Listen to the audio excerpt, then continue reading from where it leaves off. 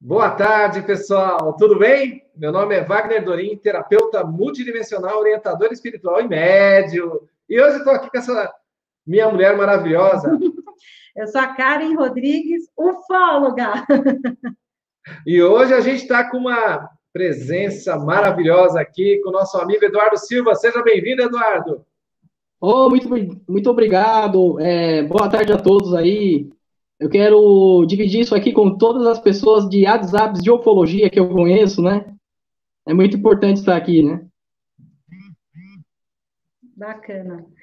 O que, é. que o Eduardo vai falar? Eduardo, me fala um pouquinho para a gente como tudo isso começou, esse seu interesse pela ufologia, como despertou isso em você? É, eu vou falar como foi esse interesse. É, vamos dizer assim, foi tudo que eu contei para jornalista, porque ela me achou naquele grupo de Facebook de ufologia. É, é assim, na verdade, acho que a ufologia estava no destino. Quando eu tinha 8, 9 anos, eu não lembro se foi em 86, é, eu, a minha irmã levou para eu assistir o filme ET. Né? Então, acho que já estava no, tava no destino, né? O filme ET. Aí eu fui crescendo, é, esse interesse sobre o assunto de extraterrestre foi cada vez mais, como adolescente, criança. Aí, quando tinha 11 anos, em 87, isso aí foi até que coloquei no jornal, né? Uh, o Fantástico, né, mostrou aquela imagem em que o Gray, é, em forma de desenho, né, que pega um cristal, parece que atravessa a cama. Eu falei, nossa! Aí me interessei naquilo, né, porque quando eu era criança também gostava dos assuntos de dinossauros, né, tudo isso. Aí, na adolescência, eu achava que só existia o Gray, né? Aí eu fui entrar nessa da ufologia, estudando firme, é, foi a partir mesmo de do, é, 2016, por aí. Tá? Aí acabei acompanhando é, vários vídeos sobre ufologia, né? enfim. Então foi dessa maneira. Perfeito, você é bem estudioso. A gente vê que você é bem, é, você interage bastante nos grupos de WhatsApp, acho que de Telegram também, no, nas questões de transição planetária, ufologia, né, Eduardo? Isso, porque na verdade isso acabou se tornando um hobby, né? Também, né? Com respeito à ufologia, fazendo uma coisa séria, né? Uhum. Procurar trazer informações que são verdadeiras, né? Eu acho que tudo isso é importante, né? Bacana. E hoje você vai falar sobre os contatos de primeiro, segundo, terceiro e quarto grau. Quer começar, então? É, eu ia falar os princípios da ufologia também, eu ia falar isso daí, tá? Isso é importante, porque tem muita gente que não sabe nem o que é ufologia. Eu é. fiquei sabendo agora, depois de cinco anos para cá. É, eu também tenho pouco tempo, mas a gente vai lendo livro, né, acompanhando também vídeo. Bom, então vamos começar com os princípios da ufologia. Então, de acordo com o papel aqui que eu coloquei, tá? Ufologia significa estudos de objetos não identificados, tá? No caso, é, discos voadores ou naves, isso é importante para a gente entender, tá? É, deixa eu pegar aqui só um negócio para falar a outra parte. Tá, é, a palavra UFO, é, vamos dizer que ela é em inglês isso daí, tá? É, abreviado, que é importante a gente entender, é, significa objetos voadores não identificados, né? De forma abreviada em inglês, tá? Para depois vocês não acharem que, tá? Isso é importante a gente entender. E o estudo científico de naves é OVNI, tá? Isso é importante a gente entender. A palavra OVNI, o mundo inteiro fala OVNI. Geralmente os ufólogos falam, ah, então é um OVNI. Então, é um objeto não identificado, tá? Talvez do ser extraterrestre, né? Nós podemos dizer, tá? Bom, aí depois que eu peguei a outra parte aqui, como eu estou dividindo, que eu acabei escrevendo, quem estuda a ufologia? No caso, são os ufólogos. Quem são os ufólogos, se a gente for pensar aí? Os telespectadores, os internautas. Os ufólogos são cientistas, né? Podemos dizer assim, pesquisadores, tá? Eles vão sempre atrás da ufologia científica. Então, isso é importante a gente dizer, tá? É, você tem que provar. A ufologia é assim, tudo tem que provar. É, então, por exemplo, um ufólogo tira foto de um OVNI no céu, uma pessoa. Aí a pessoa pergunta: ah, será que ele vai ver a minha foto para ver se é um OVNI de verdade? As pessoas estão vendo muitas coisas aí, por aí, né? Isso é importante a gente dizer, tá? Bom, outros princípios que nós podemos pegar sobre a ufologia. No caso, as naves, é, tem casos que às vezes a gente vê a nave caindo debaixo do mar, ou então saindo do mar. Parece que é, pode ter casos até de rios, assim, tá? É, nesse caso, a nave recebe outro tipo de nome, se chama OSNEM. As que são de, de, dentro da água, né? Os OSNEM. É, exa exatamente, OSNEM, né? Dentro da água que a, a nave acaba indo, ela faz uma função submarina. Então, isso é importante a gente entender, tá? É, bom, vamos lá. Então, é, os Estados Unidos, é, sempre na década de 40, até chegando nos 70 e 80, é, tinha um caso de pessoas, ah, eu vi uma nave perto, contatos, até alguns militares. Então, é, esse astrofísico chamado Joyce Allen, ele começou a pesquisar. Ah, então tem pessoas que estão vendo esse fenômeno, então o que, que a gente vai fazer? Ele dividiu por graus, tudo, né? Conta, é, contato de primeiro grau, segundo grau, quarto grau, quinto. Acho que na ufologia talvez é melhor até falar até o quarto ou o quinto, né? Que vai até o sétimo, acho que não, não é tão necessário aí. Então vamos lá, vamos comparar, tá? Essa divisão é muito importante para a gente aprender na ufologia. Contato de primeiro grau é o caso quando você está na janela e vê um OVNI bem longe no céu. Tá? Isso é importante para a gente entender. O contato de segundo grau. Vamos supor que você está numa janela, do outro lado da sua casa é um horizonte, tem bastante mata, morro. E lá você vê uma nave parada nesse morro e sai um tripulante. Isso seria o contato de segundo grau, tá? E o contato de terceiro grau, tá? É, seria quando a pessoa está perto do ser, tá? Ou pode falar através da telepatia, isso é importante a gente dizer. E o quarto grau é quando a pessoa é abduzida, tá? Isso é importante dizer. Ah, às vezes, na, esse caso do quinto grau, ele acaba se tornando assim, talvez, quando a pessoa está na nave, pode ir para outro mundo, talvez. Tem alguns casos aí, às vezes as pessoas, ah, sei o quê, mas na ufologia tudo é possível. Esses seres eles têm tecnologia. Tá? Isso é importante a gente entender. Tá? Uh, então, é isso. Nós podemos dizer. Bom, vamos falar dos formatos das naves. Tá? Perfeito. Falar os formatos das naves, estou anotando aqui. Será que eu estou indo bem, gente? Está indo bem. Tá detalhe por detalhe, porque para quem não conhece sobre ufologia, você está indo super bem. Sim. Depois tá. a gente Bom, pode falar de alguns causos ufológicos. É. Bom, vamos lá. Então vamos falar os formatos das naves. Vamos começar com o primeiro, que às vezes parece em filme, desenho, que é o disco voador. É um formato todo redondo, né? O disco voador. Também acaba aparecendo em alguns lugares do mundo onde as pessoas acabam observando. Bom, o segundo caso de um formato é uma nave charuto, tá? Então, a nave charuto é formato todo comprido, tá? Deixa eu pegar aqui no livro só para vocês terem uma ideia. Deixa eu ver se eu acho aqui. É, é, tipo, formato... é tipo uma vela, né, ó, Eduardo? É, isso. É, vai, não vai dar muito tempo, é melhor assim, tá? É. Geralmente, o que é interessante é, da nave charuto é, é, impressionante, porque teve um ufólogo, né, que, que até preservar o nome, né, mas é, teve gente que viu, né, formado cilindro, uma nave charuto, uh, teve um caso no interior, se eu não me engano, teve gente que tirou foto, mandou por e-mail para o ufólogo, tem um caso de Santos. Santos. Parece, é, de Santos. Parece que essa nave charuto foi o ano passado. Falei, nossa, porque a gente acaba observando no YouTube, né, tudo isso, né? Interessante. A, a nave a nave charuto aparece muito lá no Chile, nas cordilheiras, na Argentina. Olha o charuto do Ah, o charuto, aqui eu tenho o charuto. É, dessa forma, tá, gente, que eles estão mostrando, tá? O, o Wagner Dorim e a Karen. Exatamente. Teve, teve, uma, teve uma nave charuto ano passado aqui em São Paulo. Teve gente que fotografou. O problema é que, às vezes, a pessoa pode até falsificar uma foto. Então, Sim. o pessoal manda muita foto para mim, com certeza para o Eduardo. Só que, assim, para você analisar uma foto, você tem que entender de fotografia, né? É. Eu não sou expert em analisar foto, eu recebo muitas fotos por e-mail. Mas, assim, o que, a gente, o que eu posso falar é que essa nave charuto, ela é uma das mais vistas e ela é Isso. é tripulada, né?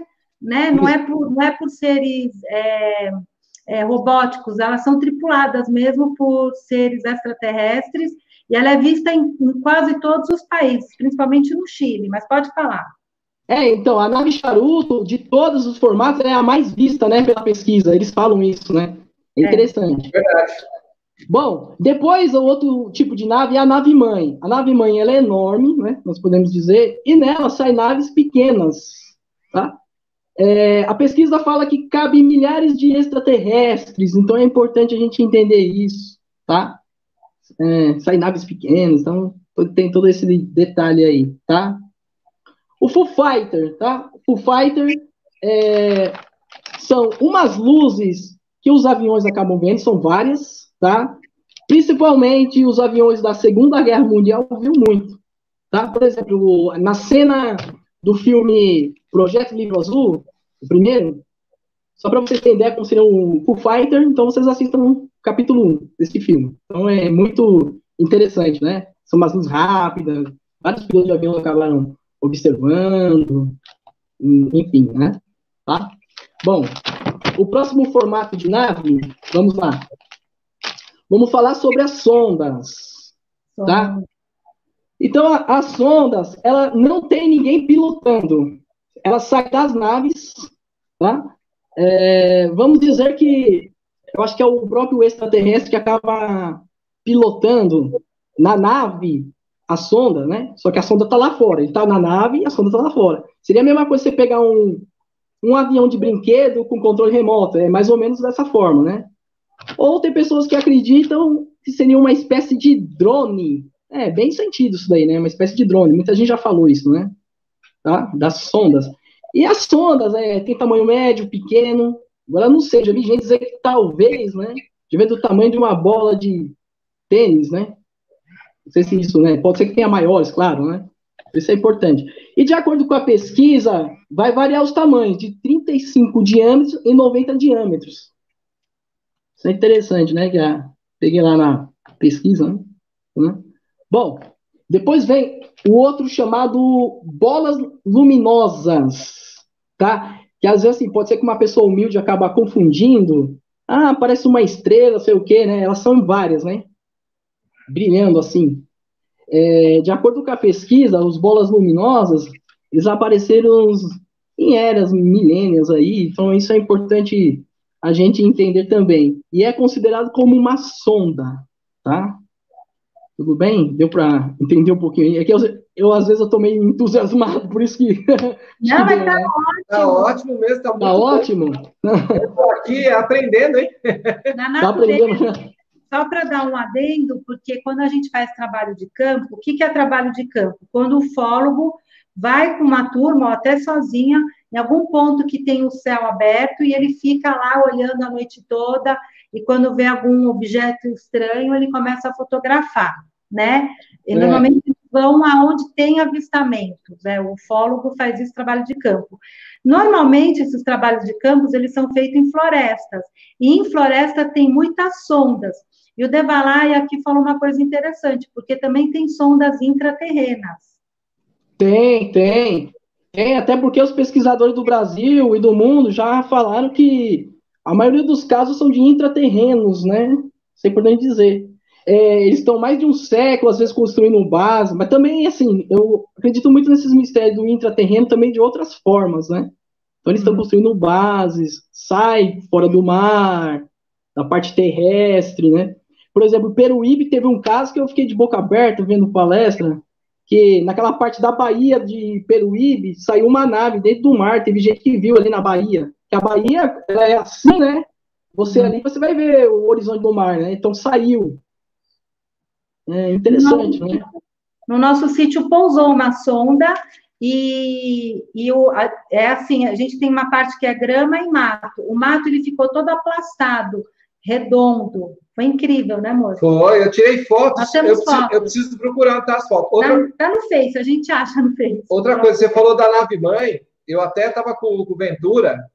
É, eu Sim. falei com ele, comentei com ele. Lá em Ubatuba, a nave saiu de dentro do mar enorme. É, tem gente que vê no litoral mesmo, Dorim. É incrível isso. Tem gente que vê.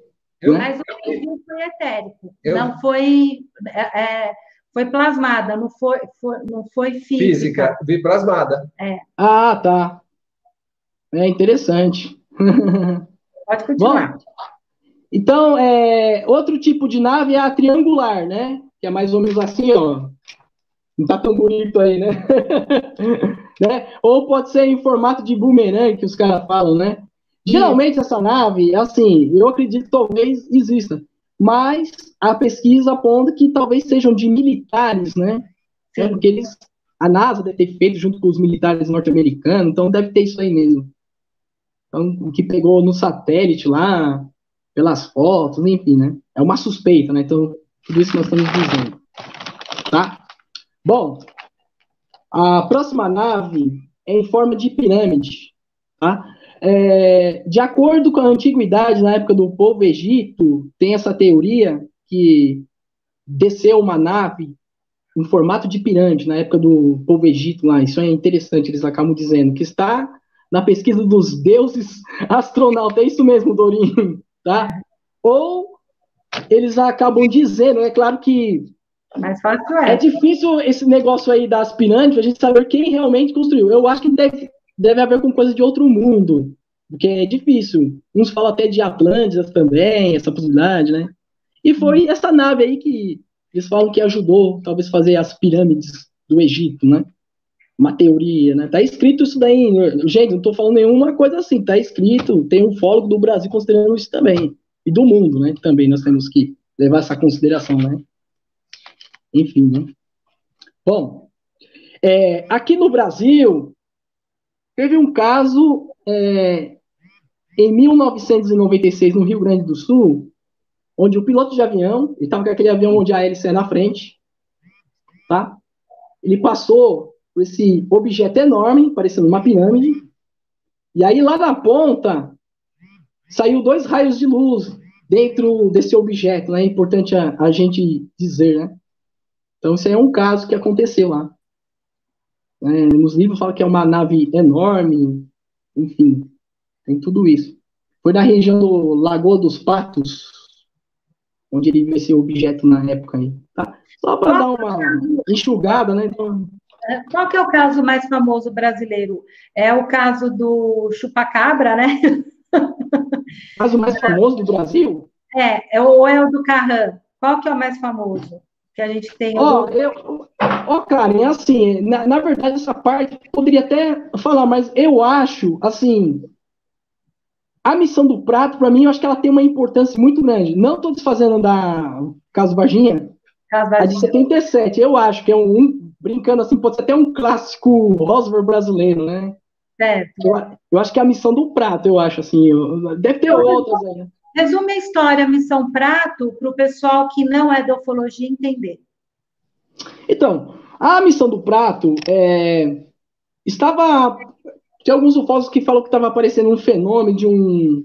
Como se fosse em forma de sonda, passando pelo Maranhão, se eu não me engano, né? Aí depois esse, essa luz, ela apareceu no estado do Pará, Belém do Pará, até chegar em Colares.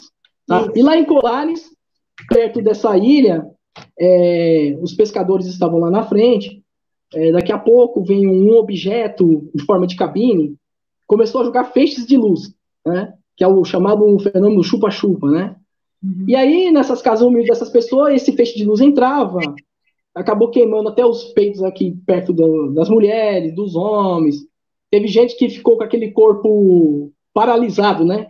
Uhum. Interessante. Porque uma função do raio era para paralisar o corpo, né? teve gente que demorou para voltar a andar um pouco ainda, né? E o outro era para um tubo sugar, talvez, se não me engano, o sangue, né? Acho que era isso. Ah, então, e o interessante nisso de 77 Só que o exército aeronáutico chegou depois, né? Os pescadores falaram, ah, esses que estavam pilotando essas cabines em forma de nave pareciam humanos, eram loiros. Hum. Né? Tanto é que tem gente achando, né? Eu vou até assim, preservar os ufólogos, tá? Que é, quem está por trás dos Grey, que os pescadores viram lá também, talvez sejam os nórdicos, né? Os nórdicos. Os nórdicos estão mandando lá, né? É porque existe várias ficções, né? Então isso é importante a gente dizer.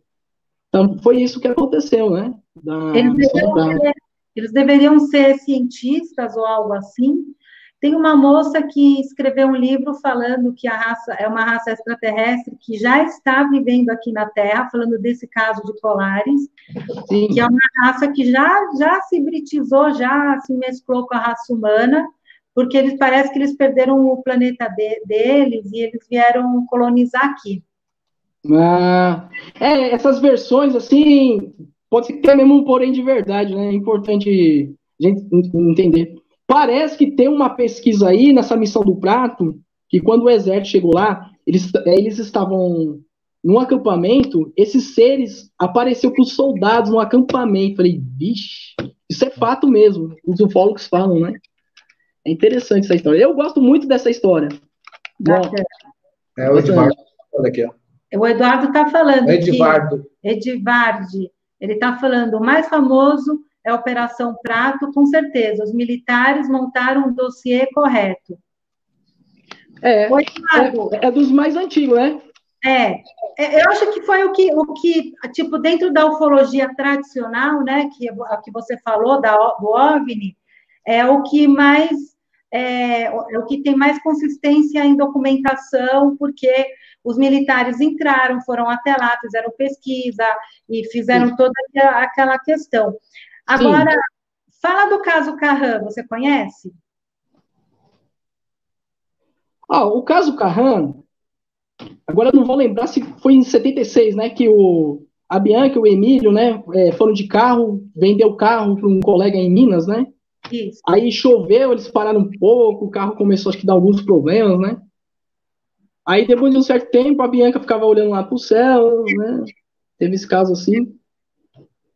E falei, ah, mas o que, que, é? Será que é alguma coisa lá? É, eu, vou, eu vou lembrar assim entre aspas, não estou muito bem lembrado, né? Aí eles foram abduzidos, né? Isso. É, dentro da nave eles viram um ser chamado Carran, parecia totalmente humano tal. É, como eles eram evangélicos, né? na, na hora lá que o Carran botou para conversar no aparelho de forma de telepatia, né? Eu acho que o marido da Bianca ficou um pouco nervoso, né? Será que é coisa do dela? Será que é coisa assim, né? É, é uma história até legal, né? E ele e... também tem umas, umas técnicas, né? Que é. ela para a parte holística, que são, é tipo o TFT, né? Que o Carran fala, né, para as pessoas, e ela tem um grupinho lá em Minas que ela recebe para dar palestras e cursos, não é isso? Eu acho muito legal isso dela. Eu, eu, sou, eu confesso que eu sou fã também dela, viu? É legal isso, né? É. é. Bacana. Todo mundo, todo mundo gosta de falar com ela mesmo em palestra de ufologia, né? Então isso é legal. Eduardo, primeira é. mão, a gente conversou ontem à noite, a gente estava batendo o maior papo ontem. Como é que ficou o negócio lá? Da aeronave, da, da, como é que chama? Da Marinha. Apareceu o submarino ou não? É. Então, é, eu vou falar dele aqui agora, ele é muito meu amigo, né? É, ele, tem, ele tem a sala Os Segredos do Universo. Tá, é antes ele... de falar sobre esse assunto, tem uma mocinha aqui, que eu não sei o nome dela, aqui, ó, a Rosângela Aguiar Santos. Boa tarde, pessoal. Vi algo vermelho de um formato redondo sobrevoando a minha casa. Qual a possibilidade de ser uma nave? É bom você responder ela, porque muitas pessoas veem esse pontinho vermelho andando. Você pode falar se é uma sonda ou uma nave? Ah, eu acho um pouco de. Olha, assim, é, é, respeitando ela. Ah, o meu amigo aí, Matias. Tudo bem, Matias? É, o que acontece? Mas era um ponto de luz mesmo, porque a gente tem que tomar cuidado com o avião. O avião também passa aquele negócio, né, em forma de luz, né? Será que era mesmo? Tem que ver isso, né? É, às vezes acontece, né, de, é, no céu, como eu já vi muito pessoal falar em WhatsApp aí, é, de cores assim, vermelho às vezes, dentro do céu, né, cor verde parece também, né, Uhum. Então é uma coisa que tem que, eu acho que ela poderia responder um pouco mais, né? Claro que não estou tirando assim, mas.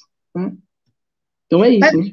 Mas, Eduardo, muitas pessoas vêm, porque uma coisa quando a, o ponto ele vem vindo na sua direção, que é igual o avião, aí quando Sim. ele muda a rota, você percebe que ele é avião. Outra coisa quando eles faz aqueles movimentos bem louco, né? É, então, é, aqueles movimentos ali é prova mesmo que é alguma coisa, viu? É. Se for movimentos assim diferentes, né? Não só de um lado, né? Então vamos entrar naquele assunto lá que você queria falar do submarino. Ixi, eu tô louco para saber desde ontem, não deu para a gente conversar à noite, pô. Então, sabe o que acontece, Dorim? Foi um, um pouco em cima da hora. O Fernando é que ele tava um pouco cansado, porque ele dur, dormiu lá. É, pelo, eu perguntei ele, entre aspas, ele, eu acho que ele vai ter tempo de falar isso aí hoje à noite. Parece é. que é verdadeiro mesmo. Ele vai me falar até o site. É, Aquelas imagens são. É. Fala que então, que é. Então é, é assim, é, bem antes dos outros ufólogos estavam divulgando, porque assim, a NASA não vai segurar mais, né? Não vai, eles vão ter que falar mais para frente aí. E a Marinha, o Exército também vai acabar revelando. A Marinha sabe de muita coisa em décadas que eles viram no mar. É, talvez OSNI embaixo do mar, é, OVNI. Então eles sabem de tudo, né? E aquelas imagens é verdadeira mesmo. É verdadeira mesmo? É verdadeira. Aí. Olha lá.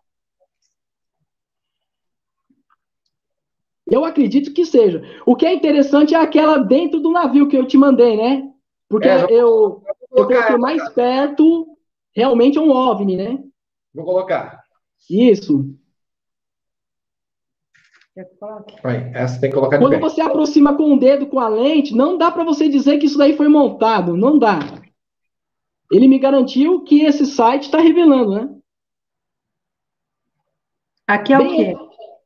Ó, lá em cima tem, tem um, um OVNI, ô Karim. Se você é, aproximar com o dedo ah, a lente... Peguei aqui. Nossa, perfeito. Aí, ó, não tem como você falar que isso aí foi montado. Não, perfeito isso aí. Isso aqui foi tirado da onde? Então, é um site aí. Agora não sei se é americano, é, é porque ele, ele acabou dormindo, né? Por isso que eu. Por que, que você acha que agora está parecendo muito OVNI? Você acha que é o projeto Bluebeam da nova ordem mundial que está aprontando alguma coisa? Ou você acha que realmente estão aparecendo os OVNIs? Ah, eu, eu, eu acredito assim, né? Eu acho assim. Sempre apareceu em milênios aí, ou épocas, um planeta que tem 4 bilhões de anos, eu acho que agora, eu acho que as pessoas estão vendo mais. É, eu acho que é a questão também do momento, talvez, né? A questão do momento. Eu acho que cada vez mais, eu acho que a aparição vai ser maior, muito maior mesmo, assim. Eu, eu penso assim, né? Tá. Assim. E você, você associa quando a gente tem problemas planetários que a, aparece uma ser que a gente chama de Virgem Maria, as Marianas, que eu sei que é, para mim, na minha opinião, uma extraterrestre, em holograma, passando mensagens para que a gente cuide mais de alguns de, de certos aspectos, né? É. E foi levado para a religião, então a gente chama de Virgem Maria.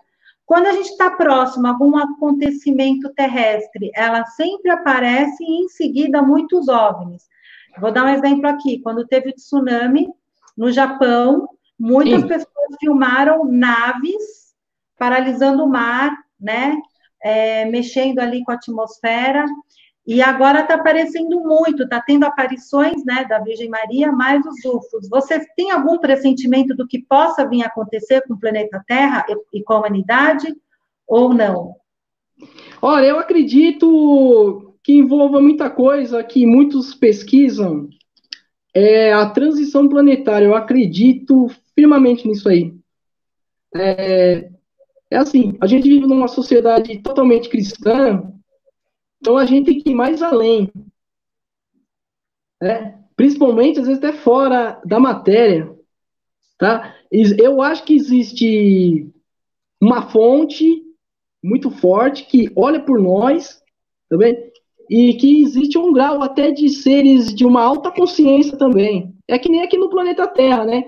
Pessoas boas e ruins. No mundo intergaláctico, a mesma coisa. seres bons, ruins, ou talvez até hostil, que falam de seres extraterrestres, o pessoal fala também, né? E, e, e essa transição, é, até mesmo essa parte que o pessoal dos livros espíritas falam, vai acontecer. É, talvez mudança de corpo, talvez no futuro um corpo menos tenso, é, essas catástrofes naturais também podem mudar os continentes. Tudo vai ser uma mudança. Eu acredito mais nisso, né? Tá. Talvez a, talvez a humanidade vai ser um pouco melhor no futuro, né? Então, mas aí que tá. Eduardo, vai depender de como a humanidade vai reagir às questões que estão acontecendo agora no planeta, né? Isso, isso envolve muito frequência, né? O amor, né? Claro, é. Então, acho. Se a gente já sabe que tem uma agenda, que nessa agenda eles querem implantar chips na gente, que esse chip vai soltar dispositivos que vão se conectar com a nossa sinapse cerebral, fazendo que a gente fique 50% humano e 50% é, a consciência, é, como é que fala?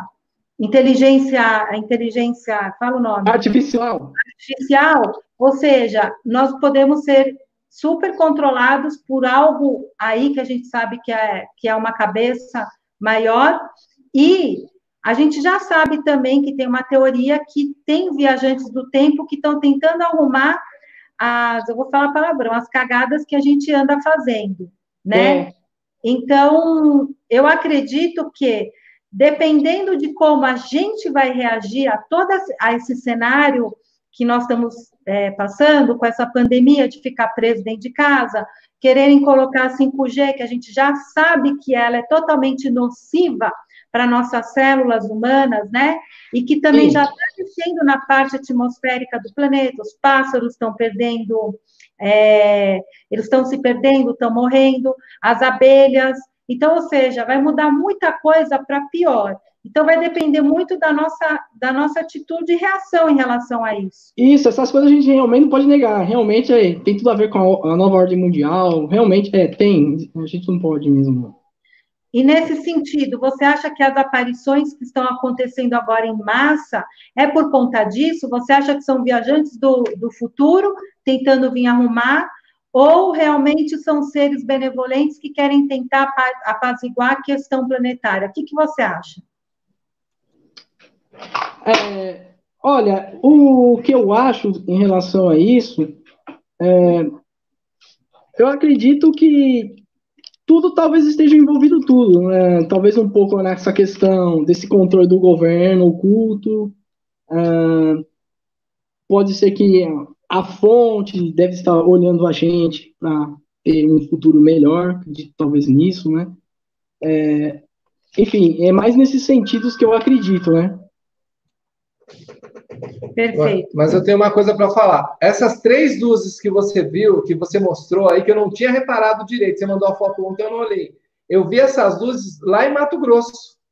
Era 5 horas da tarde e eu pensei que era uma estrela cadente. Não, tinha as três luzes e realmente Sim. ela vinha, vinha. Inclusive estava eu e o Romildo. Era 5 da tarde. Sim. Uh, nós vimos essa luz, ela vinha assim para a gente. E nesse é. mesmo dia. A luz, luminosa que eu falei, que você está falando? A luz luminosa. Que você mostrou, Só que eu... eu... esqueci de falar um detalhe: a velocidade dela é rápida. Mas era rápido? Isso, é. demais. Tanto que foi assim, ó. Interessante. Foi muito rápido lá em Mato Grosso do Sul. É. Mato Grosso do Sul. Lá também à noite nós vimos também esse, essa luz vermelha, que realmente, como o Maurício falou, eu acredito também que são as naves uma, uma nave, uma sonda pequena que vem até, até a gente, mas ela também é muito rápida. Então, é rápida. Dá para você, notar que é avião e não é avião, porque elas são muito rápidas. Então, é. São muito rápidas. São muito rápidas. Não é verdade? É verdade. É, eu achei. Na hora que você falou, eu falei, vou esperar o momento certo, mas realmente essas luzes elas têm aparecido bastante em São Paulo e uma, uma nave que a Karen viu aqui que é interessante que até ia te perguntar, no formato parece um saco de lixo. Você pensa que é aqueles balão, um saco de lixo, eu até filmei, eu tenho essa filmagem aqui. É, na verdade, é, eu acho que existe vários formatos. O que eu estou falando é as que aparecem mais no mundo, né? Tem. Tá? O, que eu, o que eu acho interessante, essa que eu vi na pesquisa, é um, um OVNI chamado Merkabah. Que quem viu é, esse objeto foi o da Bíblia lá, o Ezequiel. Tá? Ela, ela é toda assim, como se fosse formato de estrela, só que tudo espalhado no lado, né? Inclusive, depois eu mostro a imagem para vocês no WhatsApp, né? E significa Merkabat é máquina que produz a luz. O próprio Ezequiel que falou isso na época, né? Esse objeto desceu em frente a ele. Tá? E não dá, gente, pra gente negar que a Bíblia tem alguns fatos ufológicos. Tem, não adianta dizer que não tem, gente. Tem. É que as pessoas naquela época não tinham noção o que, o que era um ufólogo, não existia, né? É, não tinha, não, é, não tinha a tecnologia que a gente tem hoje, não tinha carro, é. não tinha avião. Então, eles Exatamente. de uma maneira como eles entendiam rodas de fogo, era uma Isso. outra cultura, né? Meu Exatamente. pai, lá em Alagoas, tinha o fogo selvagem, que ele vinha bem rápido atrás de você. Tem muito! E, e você pensava que era assombração, porque no Nordeste, na época que não tinha energia, meu pai trabalhava na fábrica de cana e também na usina. Aí ele falava assim, filho, eu via fogos correndo atrás da gente, eu via luzes na, na muito, muitas os antigos viam realmente não sabia que era. E no Batuba eles falam que é o boitatá. E então, o, pessoal... o boitatá parece que a história dele também, na, de, se for ver na visão ufológica, tem a ver com materialismo extrafísico também. É, lá em Ubatuba, eu até tenho. Um... Aí os índios falavam, né? Até os índios falavam isso, mas era o que eles viam lá. E, né?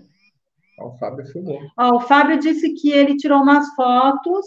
É, é meu amigo do charuto hoje na Zona Leste, em São Paulo. Fábio, depois você manda aqui para gente, coloca o telefone, Dorim, da TV Galáctica. Oh, ele também pode, se quiser. É, meu amigo, Fábio. Isso, coloca aí a foto dele. Coloca. Espera aí que eu vou, eu vou colocar aqui o nosso telefone para ele mandar para a gente e a gente compartilha com vocês pela página do Face do, da TV Galáctica e se ele permitir, a gente compartilha, deixa lá as fotos. É, tiver... tanto é que o, o Fábio, é, eu não estou lembrando o nome daquela moça, uma loira que acabam pedindo para o pessoal mandar fotos de OVNI. Uhum. Ele mandou para esse programa na live lá. E caiu a, a, imagem que ele tirou foto. Essa região que ele mora aí perto da, de São Paulo. Bacana. Pessoal, se vocês tiverem foto, vocês mandem para a gente nesse telefone que nós vamos colocar agora. E a gente vai fazer uma página Dentro da página do TV Galáctica, a gente vai colocar várias fotos de OVNIs. De, aí vocês só falam se é de São Paulo, Mato Grosso, vocês só coloquem um estado para o pessoal poder identificar. O Dorim vai colocar agora o telefone para vocês. E o e-mail. E o e-mail também para quem quiser mandar o e-mail aqui para a gente com as fotos. E para quem quiser participar também do grupo do TV Galáctica, é nesse mesmo telefone que está aqui. Nesse grupo, gente, é só para falar de experiências de expansão de consciência, é, ufologia, para as pessoas contarem, porque hoje tudo acontece muito rápido, em tempo real, né, Eduardo? Então, às vezes a é, pessoa. Eu acho importante essa oportunidade, viu? As é, pessoas viram muita coisa. Se for contar o que as pessoas me contam no PV de ufologia, você fica até com os olhos. Não, eu, é, eu tenho que acreditar, né? É, e aí é, é interessante a gente compartilhar as experiências, né? Até para é. você que está chegando aqui nessa live, que não conhece sobre ufologia, e o Eduardo está aqui se propondo a explicar o que é ufologia, é, vocês também podem participar para vocês aprenderem, estudar, pesquisar, porque o ufólogo ele tem que ser um grande pesquisador, ele tem que ter um conhecimento vasto, ele não pode ter uma cabeça quadrada e ficar somente naquilo que ele vê, porque a ufologia ela é ampla, né? Ela tem aquela científica, que é aquilo que a nave desce, é fotografado, mas também tem outros parâmetros da endofologia que a gente pode falar de dimensões paralelas, de seres mais elevados, que vêm aqui na Terra para ajudar a gente a, a expandir, evoluir nossa consciência, né, Eduardo? É, Eduardo. hoje a ufologia é, não é só apenas a científica. Eu já fico feliz dos ufólogos falar isso. Tem que caminhar tudo, a espiritualidade, é, envolve muita coisa da trans, é, como é que fala? Transhumanismo. conspiração, ah, envolve um monte de coisa, né? Então isso é importante. Não dá mais para caminhar junto. Né? eu quero te fazer outra pergunta. O Petit lá, ele falou. Petit. Sobre os homens gigantes lá na, na Rússia. Fala um pouquinho disso aí, só dá uma. Tem na Rússia e no Peru, viu, gente? Tem, tem um vídeo que teve coisa de 10, 15 anos atrás, que filmaram em cima de um prédio lá no Peru uns homens gigantes. Mas fala aí, Eduardo, para o pessoal saber o que, que é. Ah, é, que eu me lembro aí, eu vi uma gravação disso aí, não sei se era, não sei se era uma gravação de 2003, faz muito tempo, né? Que lá de cima, da parte mais alta do Peru, é só que estava em forma de sombra esse corpo, né? Era uhum. gigante mesmo, né? Então, é. é Existem algumas teorias que talvez esses gigantes sejam no interior da Terra aí, né? Então, talvez, né? Se fala em muita coisa embaixo da Terra, até reptiliano, né? Então, é interessante certas coisas, né? Então, fala muita coisa. Né? Aquele movimento do, do David Wilcock, né, junto com o Corey Wood, que eles começam a falar dessas questões ufológicas mais governamentais que é ocultado à humanidade, você acredita? É Disclosure, né, que chama? Disclosure. O outro não estou lembrando, mas o Core, sim. O Core, eu, assim, o, o, Karim, eu vou dizer assim, né, não, não, não tô desmerecendo ele. Eu acho assim, eu, eu já vejo às vezes a pessoa, ah, sei o quê, sei o quê. Eu acho que cada um tem uma forma de trabalhar, né? Eu, eu, eu, eu sempre falo isso em salas de ufologia. Você está num bar, tá? O bar tá quem? Você tem tá quem? Tá o muçulmano, tá o evangélico, tá o católico, tá o budista, tá o, o quântico. Então, cada um tem a sua forma de pensar. Agora, voltando nessa parte do Corey, vamos dizer que ah, algumas coisas ele tem razão. Outras eu já fico meio assim, pé para trás. Também não vou ele ia vir em Santa Catarina, né? Mas depois dessa pandemia ele vai demorar, né? Ele, ele ia vir. Né? Então tem tudo isso aí. Tem uma pergunta aqui para mim, deixa eu ver. Carran do carro. Opa, saiu do grudado aqui. Pronto. pronto, pronto, pronto. Já dizia que Jesus era extraterrestre. Pela sua vida sublime, sabemos que veio de outras órbitas e dimensões. Perfeito, Maete, isso aí. Tanto que a gente chama de é, Sanat Kumara, né, Sananda. Isso. Eu chamo de Maitreya, o Buda da nova, da nova Terra. Hum. Pode continuar falando, Eduardo. Pode continuar? Pode. Vamos lá, então. Peraí, deixa eu ver. Mais oito minutinhos, querido. Mas ele vai, ele vai falar. Vai lá, vamos lá. Bom, tem mais oito minutinhos, então eu, vou pular aqui rápido, senão vai lá. Então vai. Não, Não faz, faz. Vai, faz, faz, faz. A gente, a gente fala com a Cris aqui que vai atrasar uns minutinhos. Vai, vai, vai. Pode ir. Bom, vamos lá. Então, os fenômenos da, a, da ufologia. A abdução, tá? É. A abdução é quando a luz da nave acaba puxando o corpo da pessoa para dentro da nave, tá? Então, o significado de abdução é raptar, sequestrar. Então, acho que é importante a gente dizer isso aí, tá? Bom, vamos pegar outra parte aqui agora. Ah, deixa eu ver. Bom, eu só queria entrar um pouco nessa questão da ufologia e espiritualidade, tá? Porque não tem jeito, está no nosso meio mesmo, que isso pode até fazer alguma diferença de contato, talvez. Ter um auto desperto, não adianta falar isso é uma realidade, alguns livros que escreve, uma medialidade maior, então, vamos pegar os passos da ufologia espiritualidade, tá? É, Allan Kardec, na parte da religião espírita, ele falou isso mesmo. Existe outros mundos, tá? Isso é importante a gente dizer. É, acho que vale a pena a pessoa pegar o filme do Allan Kardec, esse último, aí ele fala no finalzinho do filme, existe outros mundos. Já tinha aquele certo preconceito de certas coisas, né? Porque a alma é uma energia, né? Então, isso é importante, independente da religião, né? Bom, é, vai entrar também o astral. O astral, isso que eu vou fazer, não é nem um caô, gente, tá?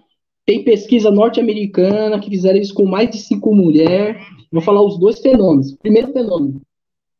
Uma pessoa, como sai da nave, ela, ela volta para casa. Ela foi contratada pelo Grey. O Grey é aquela criatura que tem uma cabeça grande, olhos pretos, né? Que Grey significa em inglês os cinzas. Quando ela vai dormir, quem chama ela para o astral é o Grey. Tá? Isso é fato. Tanto é que no filme Intrusos, aquela cena que ela fala assim: "Ah, eu não posso levar meu filho para a Terra, né? Porque o filho dela foi feito com DNA de Grey dela, né? Com o óvulo dela. Aí o Grey fala: Não, não pode, senão ele vai morrer na Terra. Aquilo foi astral. Mas no filme ela teve um contato físico, porque o filme é interessante, mostra quando ela faz é, é, hipnose, então essa parte é interessante. Então, é comprovado na pesquisa norte-americana que eles chamam para o astral. Então, nós temos que ver isso, não é nenhum caô, né, vai dizer que eu estou dizendo qualquer coisa aí, tá? É, a questão também é, geralmente, a mulher, quando sai da nave, ela ganha um autodesperto. É, um, talvez uma paranormalidade. E aí, o que acontece? Quando essa mulher fica grávida e ganha um filho, o filho dela pode nascer cristal. Tá? Acho que todo mundo já ouviu falar sobre as crianças cristais aí, tá? Hum, isso é importante a gente dizer. É, não vem talvez seja talvez de reencarnação, mas também quando a mãe dessa criança teve um contato com seres de outro planeta. Então, isso é uma coisa que acontece, né? Tá? Bom, vamos lá então. Deu para todo mundo entender essa parte aí? Eu sei que eu fui meio. Perfeitamente, pode continuar. Deu para entender? Deu, deu para entender, legal. Tá muito bom mesmo. Tá muito bom? Bom, então, para encerrando aí, então, muita coisa vai revelar na antiguidade aí sobre aparições dos ETs aí, tá?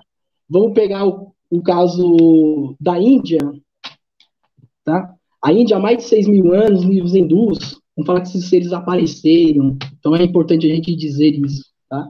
Há mais de 6 mil anos. Tem o caso da Guerra dos Deuses, que naquela época eles sabiam fazer armas nucleares. Isso é importante a gente dizer o tal da arma que parece uma arma laser. Isso está tudo escrito nos livros hindu, uma das religiões mais antigas do mundo. Então não é nenhum caô que eu estou falando isso daqui, tá? Bom, uma das histórias muito apreciada pelas pessoas também da antiguidade é os Anunnakis. Né? Só que eu estou falando tudo cortado assim, ô, Karen, porque senão a gente vai ficar aqui o dia inteiro, né? É Só para ter uma ideia dos principais assuntos da antiguidade aí. Né? Então, os Anunnakis, eles apareceram há 445 mil anos na Suméria. Tá? Isso é importante dizer. Ali na Babilônia, tá? Inclusive, Era... ah. as estátuas e os desenhos que estão pitografados, todos os Anunnakis usam um relógio e uma pastinha é, tem uma. Então, o, o cara, eu não sei se isso tem muito a ver. Eles dizem que talvez tenha a ver com alguma coisa de oxigênio, talvez, né? Pode ser. É. Isso que é interessante aí, né? A gente for falar. Bom, e depois, é, tanto nas escritas do povo egito, algumas coisas que vê através de Maia, Aztecas, Incas, toda vez que eles acabam falando que os deuses vieram do céu, Gente, é óbvio que eram os extraterrestres, né? É óbvio. É, no Egito, né, naquela parte dentro, quase que dentro da pirâmide, tem uns desenhos lá que vão lembrar é, transportes dos dias de hoje, né? Uma imagem de um, de um transporte que parece helicóptero, tanque de guerra, para você ver como que é esse mistério lá. E fora que no Egito parece que tem esse mistério mesmo de cadáveres de extraterrestres que encontraram lá, né? Nas tumbas, daquelas partes. Isso aí parece que é fato mesmo. Vamos dizer que até nos livros de outros autores estavam isso daí, né? Bom, eu, o, eu acho que eu acho que tá bom, né? Que vocês vão entrevistar. Ah, é bom também falar do Pacal Votan, né? Que tem lá nos Maias. Que isso. Ele, na, escrito, tem um desenho ele dirigindo uma nave, assim ele sentado como se fosse um foguete. É, é, é, eu, não, eu vou, não vou levar exatamente a época assim, né? Porque o interessante é que atrás desse desenho ali montado na nave tem aqui um, um fogo, né? Que lembra um foguete que tá saindo um fogo, né? É. é. A forma de ele segurar aquela parte como uma alavanca de uma nave, né? Isso é interessante. Bastante. Pode ser que tenha acontecido alguma coisa, assim. Eles viram alguma coisa, não adianta que dizer que eles não viram. Os nativos já viram muita coisa. Por que que acontece? O interessante disso é que os seres parece que gostam de aparecer principalmente em regiões rurais, onde tem florestas, né? É, porque eles falam, eles devem pensar assim, ah, é melhor você aparecer num lugar onde não tem muita gente, né? Eles não são nada bobo, né? Isso que é interessante. É, o que é interessante é aquela cena que o cara tá no outro lado da Serra da Beleza, ele filma e um ser para a nave lá naquela parte montanhosa, sai onde abaixa a porta da nave, e o cara conseguiu filmar aquilo, cara. É interessante essa cena aí. Né? Então, você vê como que é, né? Eduardo, o Fábio Alexandre mandou aqui já, ó. A, a nave a, o charuto que ele filmou agora, ó. Vamos ver se dá para o pessoal ver. Peraí, dá você. Vai, é, o Fábio, o Fábio ele tem muita sorte, né? Ele, ele pega mesmo. Ele na região dele. Ó, no Isso. Facebook, na hora que eu colocar o programa, eu coloco, Fábio. Porque esse programa Sim. vai vivo também no Face. Agora eu vou diminuir a imagem para vocês verem que ele tirou. Aquela está diminuída. E tem tá? um vídeo, viu? Sim. Espera aí que tem, tem, um, tem um vídeo aqui. Deixa eu ver se dá para mostrar o vídeo. É, ele já ah, mandou vários para um grupo de YouTube aí. Olha o vídeo. Olha só o vídeo. Espera aí. Ó. Não, já foi. Espera aí, vou colocar de novo. Sim. Ó. Olha lá, a nave. Sim, é.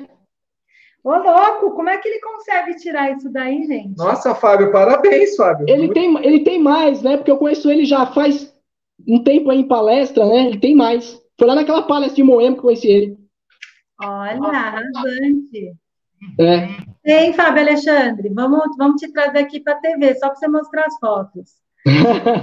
quem sabe, é.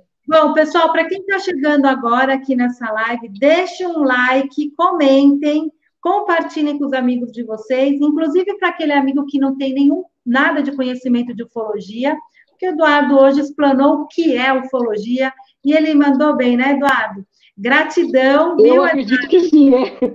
Com certeza. Seja sempre bem-vindo aqui na TV Galáctica. Agora a gente quer que você venha mais vezes. Sai lá no WhatsApp, agora coloca a cara a tapa aí para a gente conhecer todas as histórias, porque você está bem antenado. Gratidão. Viu? Gente, eu tenho que contar essa história. Chegou em mim, ah, eu não sei, eu não sei. Eu falei, vamos fazer o seguinte: a pessoa que vinha três horas não vai conseguir vir essa quarta, vai vir a outra. Então uhum. vamos. Eu vou chamar a Karen e você vai falar tudo isso que você falou nos grupos. Meu, ele tem muito conhecimento, Sim. é um estudioso. E eu não quero que fique só nesse programa, não, Edu. É, porque na verdade é o que eu falo, né? Tem pessoas assim que é, é, no WhatsApp não tem essa coragem de falar de ufologia, tá tendo aos poucos. Tem pessoas que estão se aprofundando aos poucos. É, é, o que eu sempre falo, né? Se você quer realmente ter ufologia sempre, é, procura olhar no YouTube, eu acho que é importante, né?